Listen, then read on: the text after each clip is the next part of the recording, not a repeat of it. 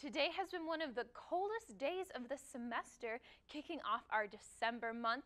These consistently colder temperatures and this cloudy sky we've been having all day is going to stick around for the rest of this week.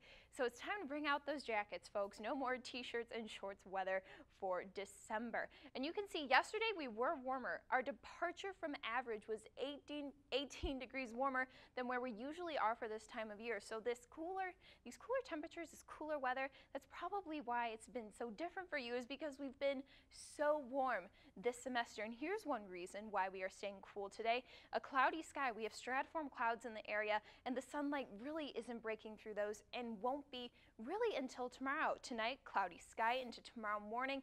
We can finally see some clouds breaking through and here tomorrow, Friday night. We'll see some sunny skies, but the sun will be down by then. We're losing sunlight still throughout this month. Saturday morning, we will have some sun peeking out of the clouds, a slight warm up with that as well. But throughout the weekend, really just a partly cloudy sky for us here in Valpo. We had some windy conditions also yesterday. Winds overnight will decrease, but tomorrow morning they'll peak at about 11 miles per hour, so still cool and windy for tomorrow. Into the weekend, though, we're going to see a dip in those miles per hour for our wind speed, dying down just a bit, so we'll have some calmer winds, but still these cooler temperatures were in about the mid 30s throughout Friday, Saturday, and Sunday. Tomorrow morning, about the mid 30s for us, and as you see, we're not warming up that much, about the upper 30s.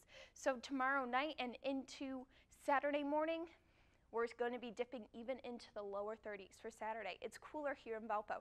It's December. This is what we expect for this time of year. Into the weekend, really, those mid 30s is what we're going to be looking out for here in Valpo.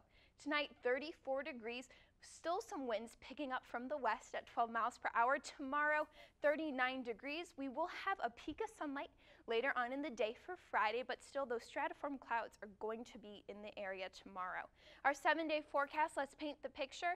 So this weekend, cloudy skies, some sun mixed in with that. Sunday is our next chance for precipitation. We could have a chance of rain and snow mix depending on how high that temperature gets on Sunday. Into the rest of the week, Monday and Tuesday, a slight warm up, but here is the kicker for next week. Temperatures in the mid 20s. A cool down is expected for Wednesday and Thursday of next week.